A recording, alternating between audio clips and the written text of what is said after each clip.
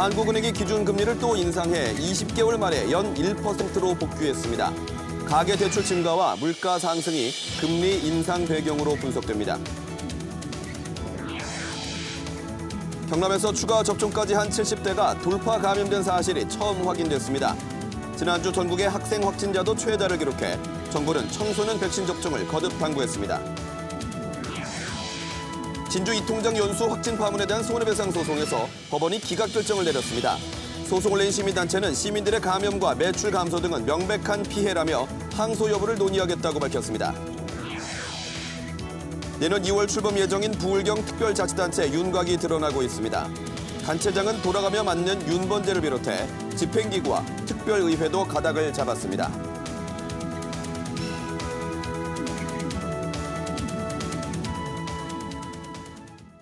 안녕하십니까. 7시 뉴스 시작합니다. 한국은행이 기준금리를 0.25%포인트 인상하면서 1년 8개월 만에 0%대 금리 시대가 마감됐습니다.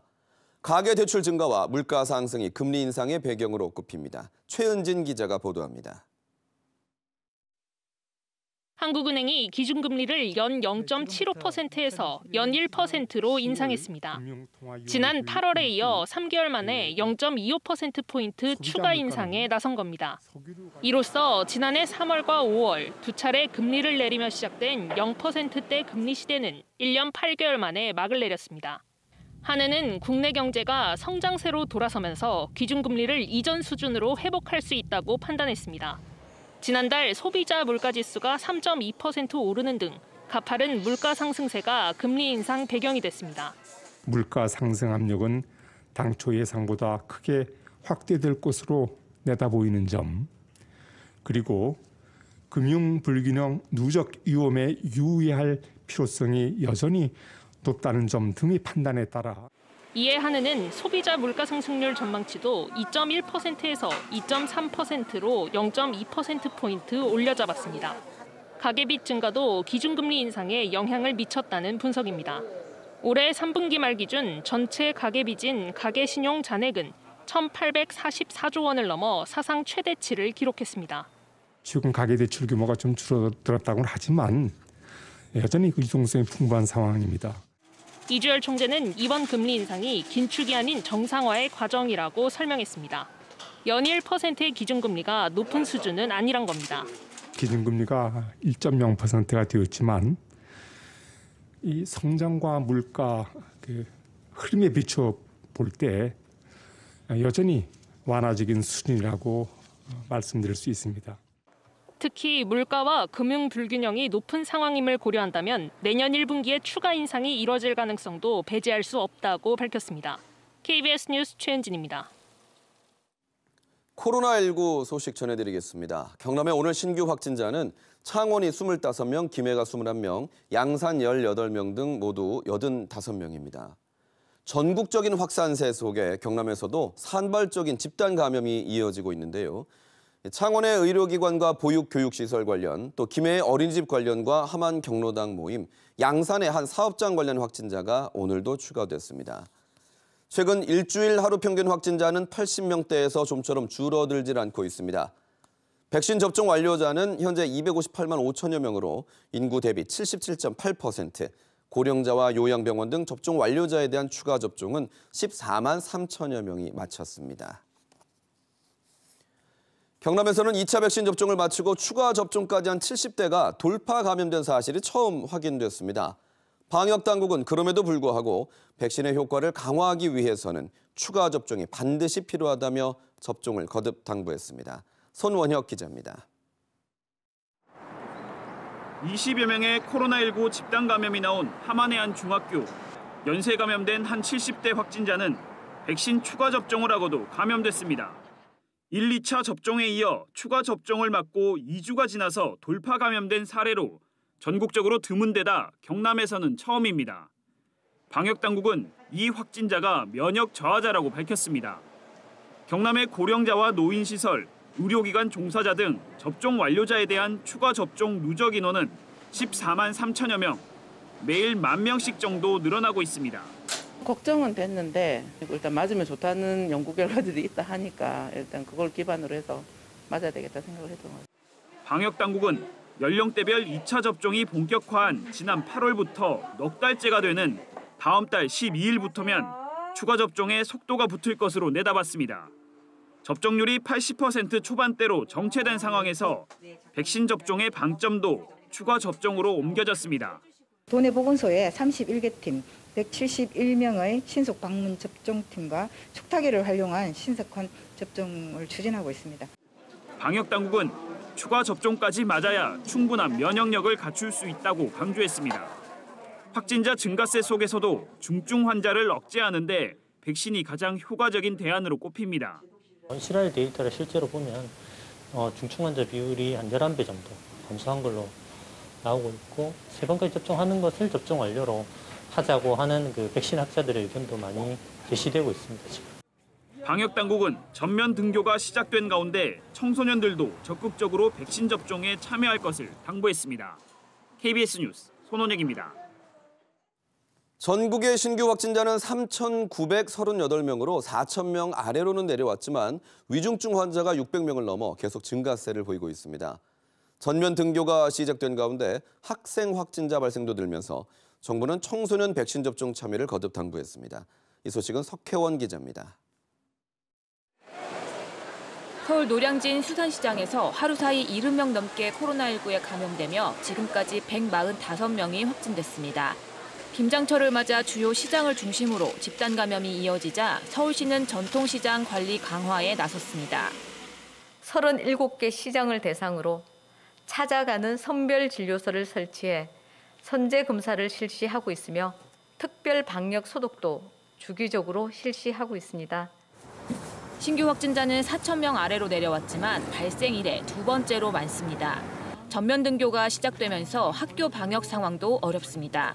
최근 한 주 전국에서 학생 2,790명이 코로나19에 감염되며 발생 이래 최다를 기록했습니다. 정부는 백신 접종률이 높은 고3 학생은 고등학교 1, 2학년에 비해 발병 비율이 최대 5분의 1 가까이 낮다는 연구 결과가 나왔다며 접종 참여를 거듭 요청했습니다. 학생 자녀를 둔 가정을 포함한 지역사회의 감염 예방 협력과 함께 가장 효과적인 방역 수단인 백신 접종에 동참해 주실 것을 학생들과 학부모님께 당부드립니다. 12살에서 17살 사이 청소년의 백신 1차 접종률은 43% 정도인데 먼저 접종을 시작한 16살, 17살의 경우 접종 완료율이 50% 가까이 오르며 확진자 발생이 감소하고 있습니다. 한편 정부는 방역 수칙을 일부 강화하는 방안을 검토 중입니다. 일상회복지원위원회는 현재의 코로나19 상황이 엄중하다는 데 인식을 같이 하고 방역 패스 확대 등 대응 방안을 논의했습니다. 일상 회복 과정에서 확진자가 급속히 늘어나더라도 의료 체계에 큰 부담을 주지 않으면서 중환자 치료에 집중하기 위해서는 재택 치료가 더 확대될 필요가 있습니다. 정부는 중대본 회의를 통해 방역 강화 방안을 결정한 뒤 내일 오전 최종 내용을 발표할 예정입니다. KBS 뉴스 석혜원입니다. 지난해 11월 진주시 이장과 통장들의 연수로 코로나19 확진자가 많이 늘자 이 연수를 계획하고 지원한 진주시에 대해 비판이 쏟아졌죠. 시민 500여 명이 이 진주시의 방역 부실의 책임을 묻는 손해배상 소송을 냈는데요. 법원이 기각 결정을 내렸습니다. 박상현 기자가 보도합니다. 지난해 11월 경남 진주 지역 이장과 통장들이 제주도 연수를 다녀오면서 확진자가 진주를 넘어 제주도 등 전국에서 109명이 나왔습니다. 특히 정부 지침상 단체 여행 자제 기간이 끝나자마자 진행된 탓에 연수를 계획하고 시행한 진주시에 비판 여론이 쏟아졌습니다. 진주 시민 511명은 진주시를 상대로 방역 부실의 책임을 물어 한 명에 30만 원에서 50만 원씩 위자료를 지급하라는 손해배상 청구 소송을 냈습니다. 1심 법원은 진주시의 책임을 물을 수 없다며 소송을 기각했습니다. 재판부는 당시 연수가 적절한 행정작용이었는지 의문이지만 진주시가 위법을 저질렀다고 인정할 증거가 부족하다고 봤습니다. 해당 연수가 방역관리 대책을 위반한 것은 아니고 코로나19의 확산의 책임을 지방자치단체의 탓으로만 돌리기는 부당하다는 취지의 판결입니다.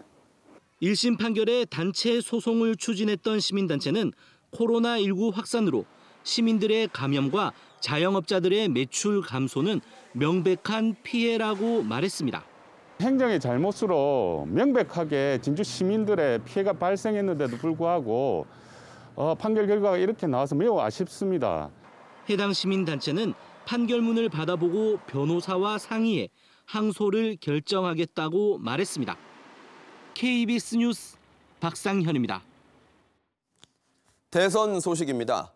민주당은 사무총장에 이재명 후보의 최측근을 임명해 이 후보의 당 장악력을 높였습니다. 국민의힘은 총괄선대위원장 자리를 비워둔 채 선대위 인선을 발표했습니다. 강푸른 기자가 보도합니다.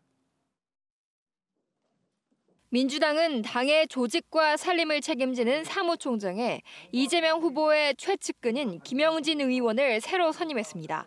김 의원은 이 후보의 대학 후배로 최측근 그룹인 7인회의 핵심 멤버입니다. 당 전략기획위원장은 최근 이재명 후보의 현장 일정을 밀착 수행했던 강훈식 의원이 임명됐습니다. 오늘 인사를 통해 이재명 후보의 당 장악력이 높아질 것으로 보입니다. 이재명 후보는 또 외신 기자들을 만나 일제 강제동원 피해자들의 손해배상 소송에서 일본이 진지하게 사과하면 배상 문제는 현실적 방안을 찾을 수 있다고 말했습니다. 국민의힘 윤석열 후보는 선거운동이 더 지체돼선 곤란하다며 총괄 선대위원장을 뺀 선대위 인선을 발표했습니다. 주호영 의원과 김성태 전 의원, 원희룡 전 지사 등이 본부장급 자리에 이름을 올렸습니다. 윤 후보는 김종인 전 위원장과의 갈등이 길어지고 있다는 지적에 일리 있는 비판이라면서도 구체적인 언급을 피했습니다.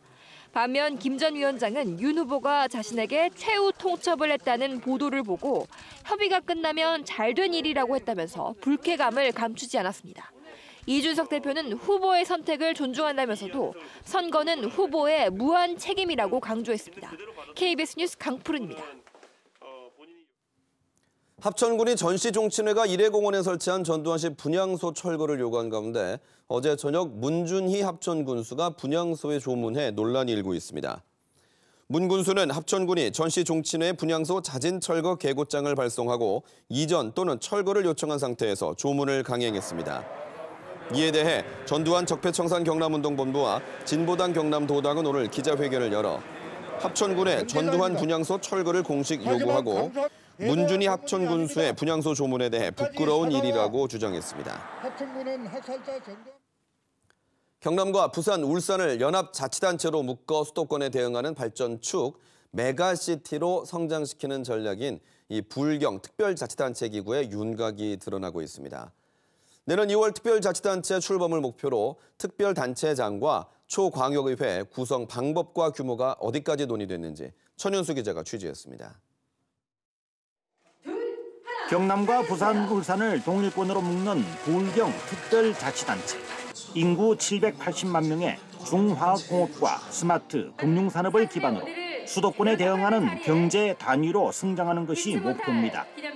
행정구역 통합은 없어 세계시도 광역단체장이 16개월씩 차례로 특별단체장을 맡는 안이 가장 유력합니다.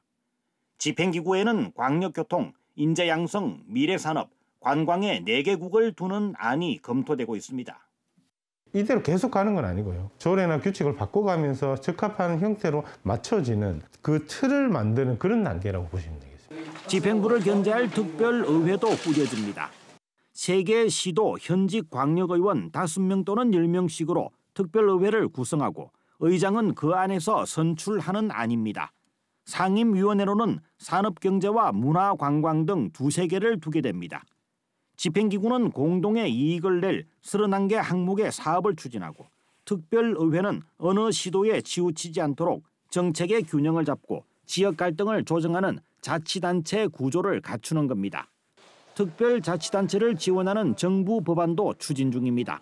대선 정국과 맞물려 있어서 굉장히 급합니다. 그릇을 빨리 만든다는 게 매우 중요하기 때문에 이게 한 2월 말까지는 내용들이 다 채워져서 불경 특별자치단체 기구와 조직 구성 등은 세계 시도 공동 특위의 추가 논의와 수정 보완을 거쳐 시도의회의 승인을 각각 받은 뒤 확정됩니다. KBS 뉴스 전현수입니다. 전국 민주노동조합 총연맹의 공공운수노조인 화물연대가 오늘부터 총파업에 들어갔습니다. 내년까지만 적용되는 안전운임제를 계속 시행하고 적용 대상도 늘려달라는 요구인데요. 마지막 날인 토요일에는 서울에서 집회도 예정돼 있습니다. 보도에 정세배 기자입니다. 도로를 따라 대형 컨테이너 차량들이 늘어서 있고 조합원들이 구호를 외칩니다. 화물연대가 오늘부터 27일까지 사흘 동안 1차 총파업에 들어갔습니다. 2016년 총파업 이후 5년 만입니다. 화물연대의 핵심 요구 사항은 일정 수준의 운임을 보장하는 안전운임제의 일몰제 폐지입니다. 당초 3년의 시한을 정해 내년까지만 시행될 예정인데 화물연대는 이를 계속 적용하고 범위도 컨테이너와 시멘트 차량에서 전차종으로 확대해달라고 요구하고 있습니다. 화물연대는 오늘과 내일 전국 16개 지역 본부별로 총파업을 진행합니다. 경기도 의왕의 내륙 컨테이너 기지와 부산 신항 등 주요 거점에 대한 봉쇄도 추진합니다. 또 총파업 마지막 날인 27일에는 서울에서 정부와 여당을 규탄하는 결의대회를 열 계획입니다. 국토부는 화물연대와 계속 대화를 시도하는 한편 비상수송 대책을 시행한다고 밝혔습니다. 이를 위해 파업 기간 동안 8톤 이상의 일반형 화물 자동차와 견인형 특수 자동차 등 자가용 화물차의 영업을 허용합니다. 또 차량 확보가 어려운 화주를 위해 운유 차량과 군 위탁 컨테이너 화물차도 투입한다고 설명했습니다.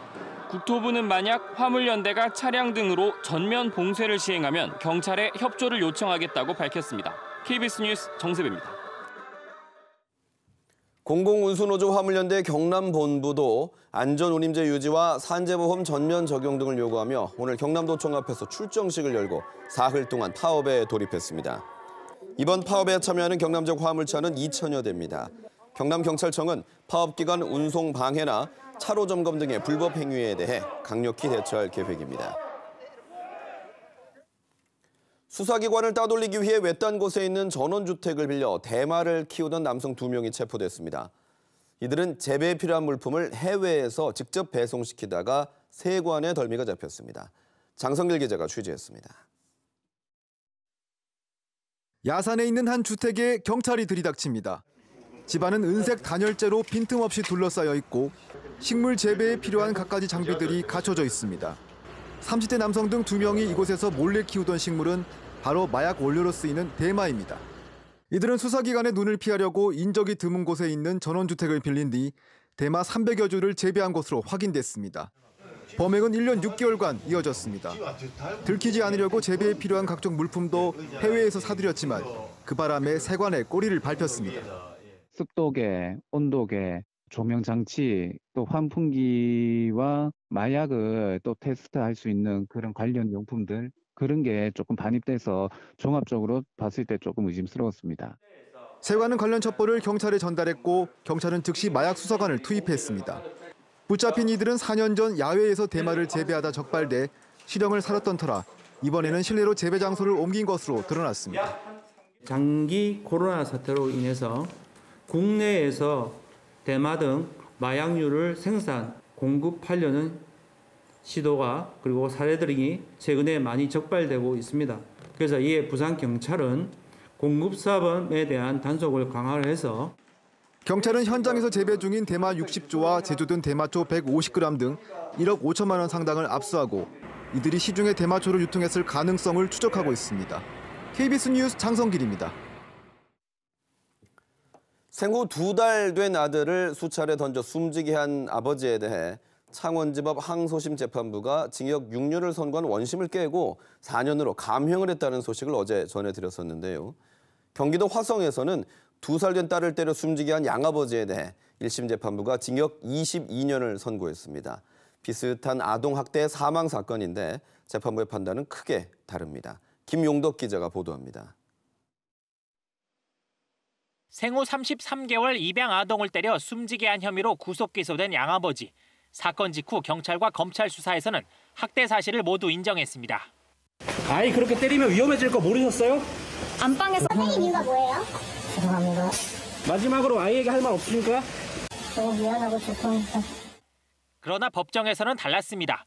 사건 이틀 전 때린 사실이 없다거나 사건 당일 구타 소리를 듣고 달려온 양어머니의 저지에도 아동을 다시 한번 강하게 때렸다는 공소 사실을 부인한 겁니다. 특히 뺨 몇 대 때린 것으로 인해 뇌출혈이 발생할 줄 몰랐다며 살인의 고의도 부인했습니다. 앞서 검찰은 아이를 때려 숨지게 한 양아버지에게 아동학대 살해 혐의를 추가하고 무기징역을 구형했었습니다. 정신을 잃은 아이를 바로 병원으로 데려가지 않고 7시간 동안이나 방치한 것은 살인의 미필적 고의가 있다고 본 겁니다. 법원은 결국 공소 사실을 모두 유죄로 판단하고 징역 22년을 선고했습니다. 재판부는 친자녀에게는 하지 않는 신체적 학대를 시작해 강도가 높아졌다며 아이가 죽을 수도 있다는 위험을 인식하고도 범행했고 구호 조치도 하지 않았다고 밝혔습니다. 일부 시민단체는 구형보다 선고 형량이 미약하다며 비판했습니다. 입양해놓고 그것이 힘들다고 스트레스가 있다고 경제적으로 힘들다고 하나의를 생명을 잃게 할 수는 없지 않습니까?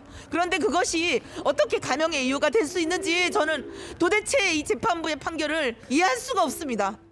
한편 학대 치사 등 혐의로 함께 기소된 양 어머니에겐 징역 6년이 선고됐습니다. 그러나 재판부는 다자녀를 양육한다는 점 등을 잠작해 법정 구속하진 않았습니다. KBS 뉴스 김영덕입니다.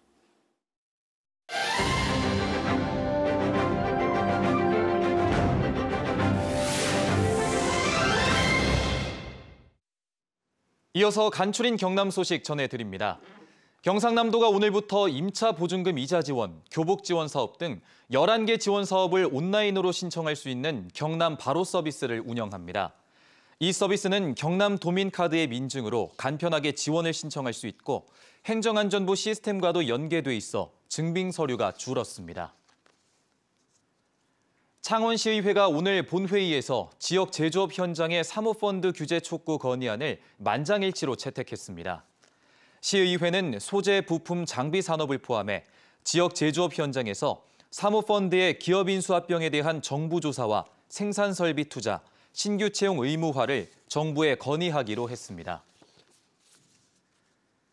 창원지법은 아마존이 가상화폐를 만든다고 속여 피해자들로부터 투자금을 가로챈 혐의로 기소된 59살 A씨에게 징역 6년을 선고하는 등 일당 4명에게 모두 징역형을 선고했습니다. 이들은 곧 개발될 아마존 코인에 투자하면 돈을 벌 수 있다고 속여 2017년 1월부터 4월까지 피해자 63명으로부터 15억 6천여만 원을 가로챈 혐의로 기소됐습니다. 창원 상공회의소가 2021년 창원 블랙위크 행사 1등 경품으로 경차를 후원합니다. 이번 경품 추첨은 오는 28일까지 창원 소상공인 사업장에서 만 원 이상 사용한 영수증으로 응모할 수 있고 발표는 오는 29일 창원 상남동 분수광장에서 진행됩니다. 한국장애인단체 총연맹 등이 개최하는 한마음 교류대회가 오늘부터 내일까지 창원의 한 호텔에서 이어집니다. 이번 대회는 전국 17개 시도 장애인단체 종사자 등 400여 명이 참석한 가운데 장애노인 위한 정책이 없다를 주제로 강연과 세미나 등이 진행됩니다. 지금까지 간추린 경남입니다.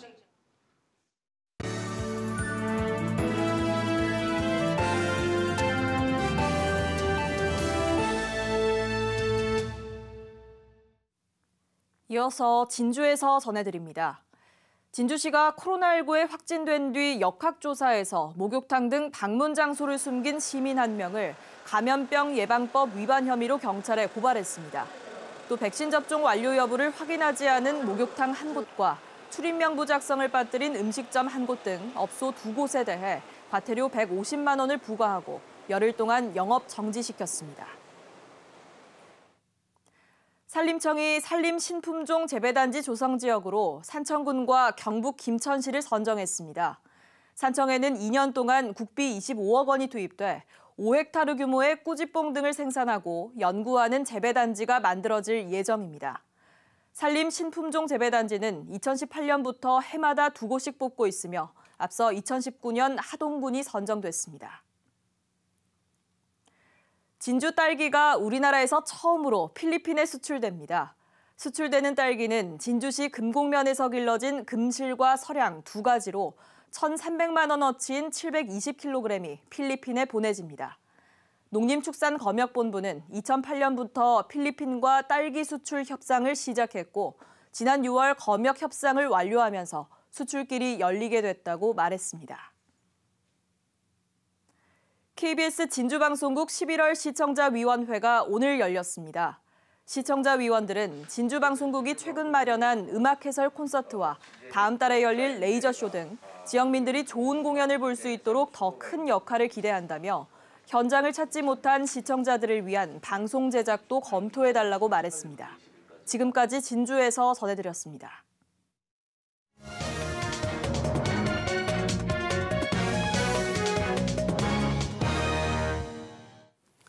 자 오늘 단도직입 시간입니다. 대선 국면 정치권의 분위기까지 짚어볼 텐데요. 더불어민주당 통영고성 양문석 지역위원장과 국민의힘 국책자문위원회 이주영 위원장 모셨습니다. 어서 오십시오. 안녕하세요. 네. 예, 안녕하십니까. 반갑습니다. 네. 어, 이주영, 위원- 이주영 위원장님 오랜만에 모셨고요. 예. 네. 먼저 이제 더불어민주당 쪽 분위기를 보도록 하겠습니다. 예. 일단 전권을 위임받은 이재명 후보가 전국민 선거대책위원회라는 이름으로 네. 엊그제 이제 첫 회의를 열고 출범을 했는데 새로운 민주당 일을 차다 라고 네. 얘기를 하면서 큰 절까지 올렸어요. 예, 예. 분위기는 어떻습니까? 어, 분위기가 이제 전면적인 쇄신에 대한 분위기가 크고요. 이재명 네. 후보가 이야기했던 국민의 작은 숨소리조차도 기민하게 대응해야 된다, 예. 반응해야 된다. 이제 이런 측면에 있어서 청년 선대위를 꾸렸는데 예. 청년 선대위 이름이 민주당 꼰대짓 그만 위원회입니다. 네. 그다음에 여혐 남혐 둘 다 싫어 위원회. 네. 아주 직설적인 그 현재의 어 여, 20대 남자와 20대 여자를 갈라치는 어 이러한 그 분위기에 대해서도 명확하게 반대를 하고 있고 네. 그다음에 어 더불어민주당이 그 180석 그 정확하게 169석의 오만함들에 대해서 우리 청년들이 그 청년 선대위에서 꼰대짓 그만해라. 예. 국민의힘 꼰대짓 그만이 아니에요.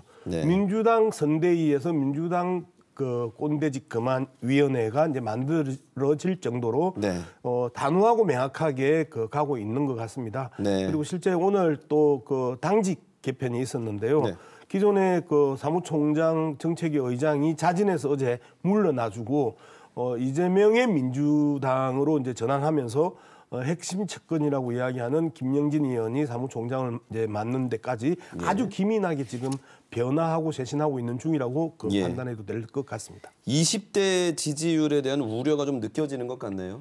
시- 심각하게 그리고 네. 진지하게 그 얘기에 대한 대응들을 하고 있다. 네. 이렇게 좀 이쁜 눈으로 바, 바라봐 줬으면 좋겠습니다. 알겠습니다. 국민의힘 분위기를 보겠습니다. 일단은 네. 김종인 전 비상대책위원장이 선대위 합류 거부 의사를 밝히면서 네. 애초에 삼김 체제로 선대위가 출범할 것이다라고 했다가 지금 네. 이제 양김으로 출범하는 모양새가 됐는데 예. 현재 당내 분위기 좀 어떻습니까? 예. 어, 일단 어, 오늘 당 최고위에서 예. 어, 김종인 총괄위원장 자리만 비워두고 예. 나머지 자리는 다 인선 발표를 예. 해서 이제 출범을 시켰죠. 네. 어, 어떻게 보면 좀 어, 약간의 개문 발차가 네. 아, 된 셈이 됐는데 어, 거기에 대해서 어, 좀 우려도 예. 있죠. 예, 이제 좀 어, 완팀이 돼야 되니까 네. 아, 다좀 참여할 수 있는 어, 서로 좀 양보하는 그런 어, 네.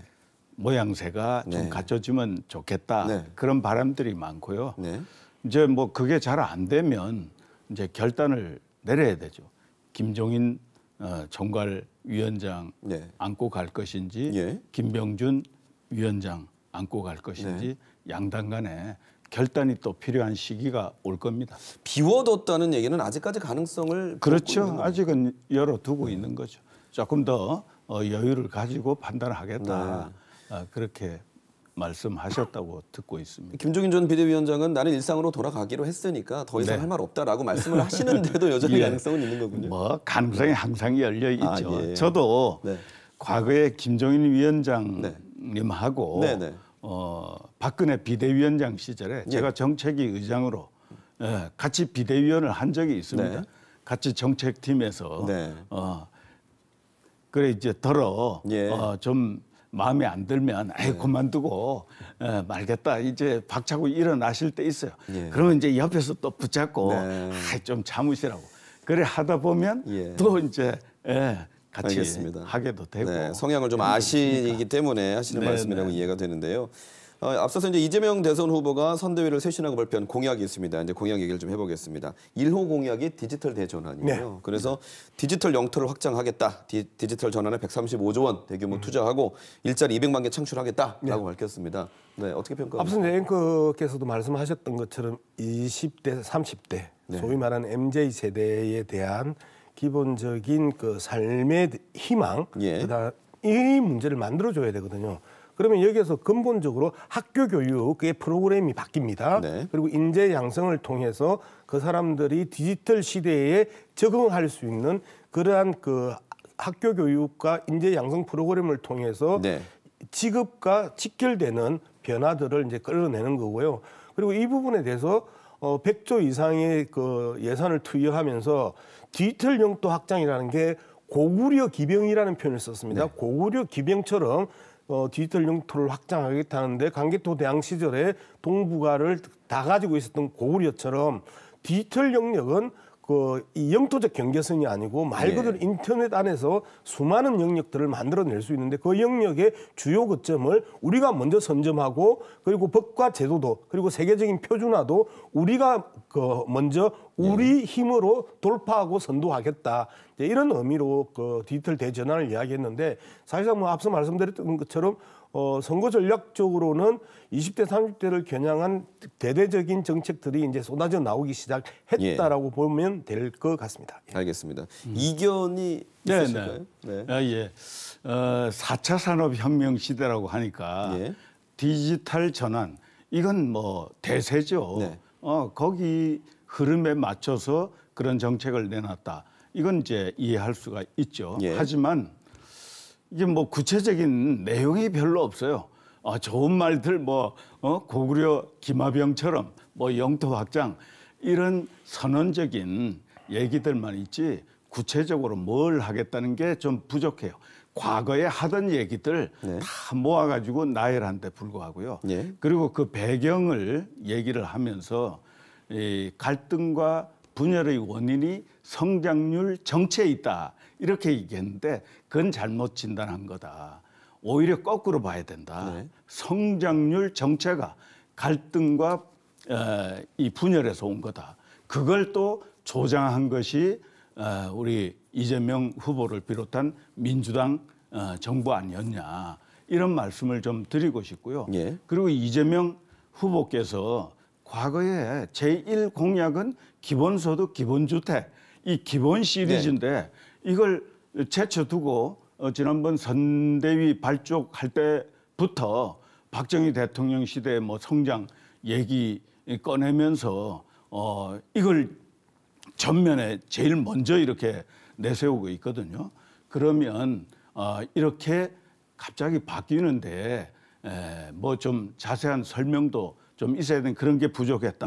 그게 과연 진정성이 있는 것인지 좀 더 지켜봐야 되지 않느냐 그런 생각을 좀 했습니다. 네, 기본 시리즈 공약에서 이제 급하게 전환이 됐다라는 말씀. 늘 말씀드려 하셨던 이제 자세한 설명이 있어 봐야 하겠다라는데 그건 자세한 설명을 안 들어서 모르시는 거하고 말을 그 했는데 아, 안, 해, 안 해서 모르는 거하고는 다르거든요. 어, 어제 40분에 걸쳐서 그 이 부분에 대해서 구체적으로 이야기를 하, 했습니다. 아, 예, 제가 전문을 다 읽어봤거든요. 그, 그 전문 다 읽어봤는데 되고요. 그건 그 다음에 뭐 없어요. 어, 구체적인 내용, 예를 들어서 사물 인터넷 같은 경우에 우리나라에서 상당히 취약한 부분들이 있습니다. 그러한 부분들에 대해서 좀 더 강화시켜 나가는 부분이고요. 그 다음에 AI 같은 부분들도 미국이나 선진국 에 비해서 이제 10년 정도 떨어져 있어요. 그 부분에 대해서도 더 강화시켜 나가야 되고 클라우드 서비스 같은 경우도 그런 부분들을 강화시켜 나가야 되는 겁니다. 그런데 문제는 그 강화하는 데 있어서 두 가지 측면이 부족한 거죠. 하나는 사람. 인재 양성이 충분히 이루어지지 않고 이게 학교 교육부터 해가지고 전반적인 교육 시스템의 변화 없이 스스로 공부해가지고 학원 가서 인재가 양성되는 이 시스템을 바꾸겠다라는 게 중요한 내용이고요. 그다음에 정부가 그동안에 기업 스스로가 풀어 나가고 그다음에 소기업, 벤처기업 이런 기업들이 해결해 나갔던 것들에 대해서 대대적인 예산 지원을 통해서 네. 이 부분의 그 분위기를 바꾸겠다라는 이야기고요. 예, 예. 마지막으로 분열과 갈등에 대한 워- 원인 분석을 하는데 그거는 우리나라 역사 속에서 계속해서 일어났던 겁니다. 문재인 정부 하에서 오히려 축소되어 가는 과정들이 있었는데 가장 핵심은 뭐냐면 파이가 크면 그 갈등의 정도나 그다음에 상황들이 훨씬 더 적어집니다. 그건 아시잖아요. 그러면서 네. 그 파이를 키우자가 성장을 통한 그 갈등의 해소책들과 일자리 창출을 예, 통한 해주셔야겠네요. 삶의 희망 네. 이런 이야기를 했는데 그래 길게 얘기하셨는데 예. 예. 어, 제가 뭐 이 모른다 이렇게 말씀하신 거는 저한테 그렇게 말 하시면 안 되고요. 제가 전문을 두 번이나 상세히 읽었어요. 네. 예. 그런데 에, 제가 말씀드린 대로 그런 문제점이 있고요. 구체성이 없다는 얘기는 민주당 그 정책 관계자들조차 하고 있는 얘기예요. 제가 그걸 인용해서 말씀드린 네, 겁니다. 네. 에, 알겠습니다. 뭐 그런 점에 대해서 제가 지적을 한 거예요. 예, 알겠습니다. 저희가 다음 질문으로 넘어가야 제가, 되니까요. 아니, 제가 네, 네, 방송통신위원회. 상임위원을 네, 네. 했습니다. 4년 동안. 그래서 방송통신 영역에 있어서는 제가 그 전문가 중에 전문가라고 자부를 예, 예. 하는데 네. 그, 그 전문가의 입장에서 제가 쭉 아까 사물 인터넷 클- 클라우드 시스템이나 AI와 아, 그건 이제 관련해서 우리 말씀을 위원장님의 드렸는데 설명과 함께 또 이제 그 공약 발표하는 그 전문에 있느냐 없느냐의 아니, 또 저도 아, 그게 때문에 그 저도 정책. 전문가입니다. 아, 예, 정책의. 의장을 자, 지금 두 번씩이나 하면서 분석을 했어요. 네, 위원장님 네개 네. 여론조사 기관 업체가 이제 네, 네, 합동으로 여론조사를 해서 그 결과를 발표를 했거든요. 그 내용을 좀 더 나눠야 하기 때문에 질문 넘어가겠습니다. 지금 이 사자 대결을 가정했을 때 지지도를 조사를 해봤더니 11월 들으면서 좀 벌어졌습니다. 네. 1위 윤석열 후보, 2위 이재명 후보로 벌어지는 듯 하다가 셋째 주 들어서는 좁혀지고 지금 넷째 주 결과는 다시 좀 벌어지는 걸로 나타났는데 이 여론조사 상승세와 하락세에 대해서 어떻게 분석을 하고 계시는지 네, 뭐 지금 상황에서는 컨벤션 효과라는 게 명확하게 있었었고요. 윤석열 이제- 후보의 컨벤션 예, 효과가 있었다. 그 컨벤션 효, 효과가 이제는 서서히 이제 그 가시기 시작하는 그 과정에서 어떤 조사는 뭐 0.5% 포인트 차이가 있고 예. 어떤 조사는 이제 대체적으로 10% 이상 벌어져 있던 게 이제 7%대까지 다 이제 붙여놨단 말이에요. 어, 민주당이 지난해 총선에서 어, 172석을 얻으면서 거기에서 보였던 오만함, 그 다음에 교만함 또는 꼰대짓 이러한 것들 을 통해서 훅 하고 예. 한 방에 갔잖아요. 네. 지난 4월에 부산시장 선거, 서울시장, 서울시장 선거에서 민주당이 한 방에 갔단 말이에요. 그리고 이제 그 변화 과정에 있어서 민주당 그 후보가 절박함들이 이제 알겠습니다. 드러나기 시작하는 네. 과정에 있어서 좁혀지고 있다라고 보는 네. 겁니다. 예. 예. 어, 이 지지율은 어, 지금 보면 0.5% 포인트서부터 오늘 나온 거 보면 13.4% 포인트까지 이게 차이가 여론조사의 아, 예. 기- 예, 기관에 예, 따라서요. 뭐 네. 어, 들쭉날쭉이에요. 예, 예. 그러나 이제 대체로 보면 오차 범위 밖에서 네. 윤석열 후보가 이재명 후보를 앞서고 있다. 네. 이건 뭐 어, 사실인 것이고요. 그러나 그것이 지금 말씀대로 컨벤션 효과든지 뭐든지 이게 이제 조정이 좀 되는 한 2주간 기간이 있거든요. 예. 그 기간 동안은 좀 조정이 될 겁니다. 네. 그렇다고 해가지고 이게 지금 승패를 좌우할 수 그 있는 정도는 아닌 그런 것이다. 여론조사 알겠습니다. 결과로 보면 안 되고요. 네, 이. 추세. 예.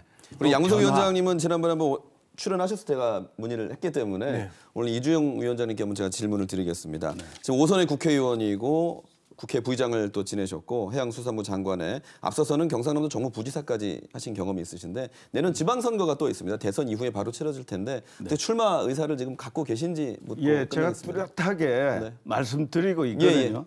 작년 총선 이후에 제가 이제 총괄 에, 경남 선대위원장으로 어, 이제 지원 유세들 다니고 이렇게 하다 보니까 많은 당원 또 도민들로부터 어, 다음 도지사를 맡아줬으면 네, 좋겠다 이런 요청들이 쇄도했기 때문에 제가 작년 6월부터 준비를 시작했습니다. 예. 또 보궐선거가 있을 수도 있고요. 예. 하, 하지만 이제 보궐선거는 물 건너 갔고 본선거 대비해서 네. 그동안 이제 어, 대학 교수나 뭐 전문가들로 스타디 그룹 만들어 가지고.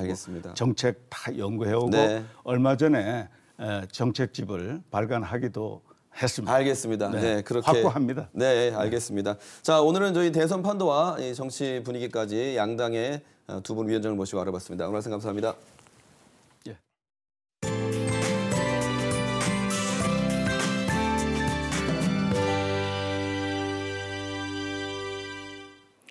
어제와 오늘은 추위의 기세가 잠시 주춤했는데요. 내일부터 다시 강해집니다.